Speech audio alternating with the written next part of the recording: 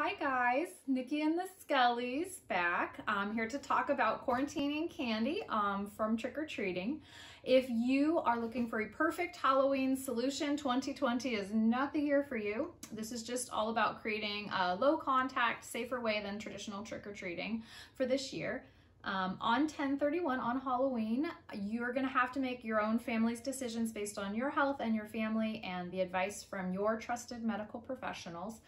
I am not a doctor, um, but I called mine and she said you can spray your candy with an alcohol-based decon and let it dry before your kids get to it or just quarantine it for 72 hours.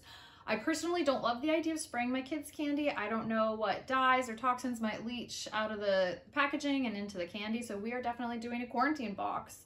Um, I will be purchasing a little extra or reserving a little extra of our trick-or-treat candy so that he's got something to munch on for a couple days until his, um, his stash is ready.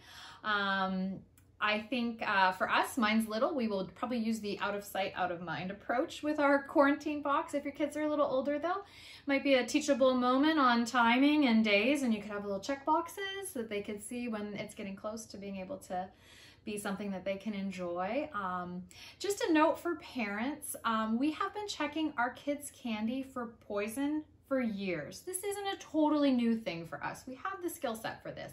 It's just a little different. This year we're not looking for needles. We're just trying to keep it COVID friendly and COVID safe.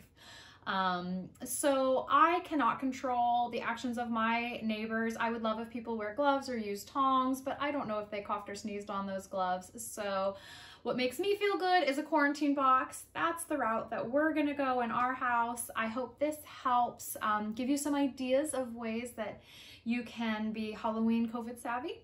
Um, thanks so much for watching this. Um, it'd be great if you followed me on Instagram at Halloween Party Envy, or you can subscribe to this YouTube channel. Um, I hope you're working on your candy luges. I can't wait to see. Don't forget to hashtag show me your luge. And I hope everybody has a happy, safe Halloween. Bye.